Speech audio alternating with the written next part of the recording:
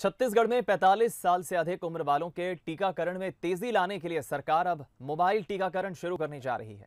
आज इसकी शुरुआत राजधानी रायपुर के चार शहरी वार्डों से शुरू होगी। इसके लिए चिरायु मोबाइल वैन लोगों को टीका लगाने के लिए मोहल्लों में पहुंचेगी। 45 साल से अधिक आयु वर्ग के व्यक्तियों के लिए पूर्व निर्धारित रूट पर आरबीएस के चिरायु टीम मोबाइल वाहन के माध्यम से कोविड 19 टीकाकरण कराया जाएगा। वाहन में टीकाकरण टीम के साथ डॉक्टर और फार्मासिस्ट भी रहेंगे। तय योजना के मुताबिक आज रायपुर के Sant Kabirdas ward, Rajiv Gandhi ward, Pandit Ravishankar Shukla ward और ठाकुर प्यारेलाल वार्ड में ये मोबाइल एंबुलेंस पहुंचेगी। प्रशासन को उम्मीद है कि इस पहल से बुज़ुर्गों का टीकाकरण अभियान रफ्तार पकड़ेगा। कोविन पोर्टल के मुताबिक गुरुवार को प्रदेश में केवल पाँच लोगों को टीका लगा।